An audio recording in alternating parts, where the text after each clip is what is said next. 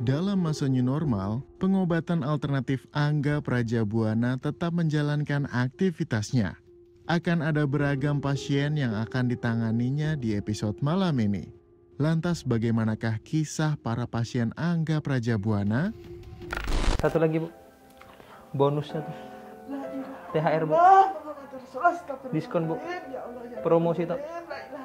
Satu lagi.